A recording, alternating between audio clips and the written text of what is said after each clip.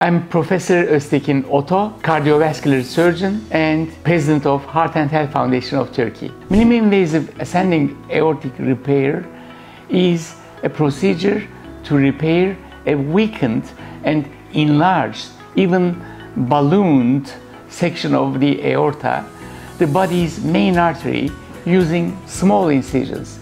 This less invasive uh, approach reduces the risks associated with traditional open heart surgery. Why is minimally invasive ascending aortic aneurysm repair important?